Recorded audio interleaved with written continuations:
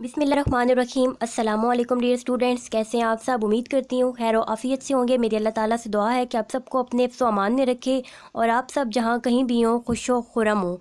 आप देख रहे हैं अपना YouTube channel daily news dear students, मैंने अपनी प्रीवियस वीडियो में आपसे डिस्कस किया था कि शफकत महमूद साहब जो हैं वो ट्वेंटी सेकेंड सेप्टेम्बर को मीटिंग कॉल करेंगे, जिसमें छुट्टियाँ मज़ीद बढ़ानी है या स्कूलों को खोलना है, छठी से आठवीं जमात तक के जो बच्चे हैं, उनके तालीमी सिलसिले को शुरू करना है या अभी तक बंद रखना है।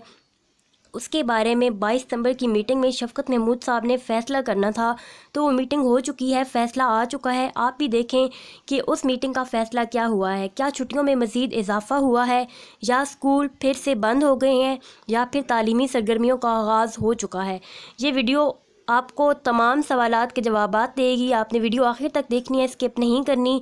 वीडियो में आपको सबूत प्रोवाइड करूँगी ताकि आपको किसी भी तरह का कोई भी शक शुबा बाकी ना रहे और आपके तमाम सवाल के जवाब आपको ख़ुद आँखों देखे सबूत से मिल जाएँ।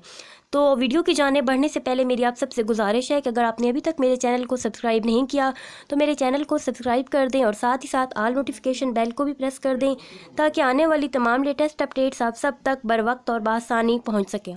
तो डियर स्टूडेंट्स यहाँ पर मैं आपका वक्त ज़ाया नहीं करती और मैं आपको लेकर चलती हूँ शफकत महमूद साहब के ऑफिशियल ट्विटर अकाउंट पर, जहाँ पर उन्होंने मीटिंग के बारे में डिस्कशन किया और आपको तमाम तरह की डिटेल प्रोवाइड की हैं।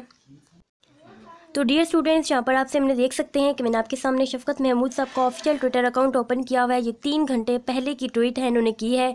यहाँ पर आप खुद भी पढ़ सकते हैं कि पंजाब, खैबर पख्तूनख्वा, बलूचिस्तान, आज़ाद कश्मीर और गिलगित बल्तिस्तान में कल से मिडल क्लासेस का आगाज़ हो जाएगा। ये वज़ी तालीम शफकत महमूद साहब की आज की मीटिंग का जो डिसीज़न है, उसमें डिसाइड हुआ है कि जो तालीमी इदारे हैं मिडिल क्लास की क्लासेस जो हैं, वो कल से शुरू हो जाएँगी। यानी तेईस सितंबर से मिडिल क्लासेस का आगाज़ हो जाएगा। आप ख़ुद भी देख सकते हैं। तो आपको शक शोबे की कोई भी गुंजाइश बाकी नहीं होनी चाहिए। उम्मीद करती हूँ वीडियो आपको पसंद आई होगी। लाइक कीजिए कमेंट सेक्शन में अपनी कीमती राय का इजहार ज़रूर कीजिएगा। अपना बहुत सारा ख्याल रखिएगा। मुझे दुआ में लाजमी याद रखिएगा। अल्लाह ताला आप सबका हामी और नासिर हो। फ़ी अमान अल्लाह।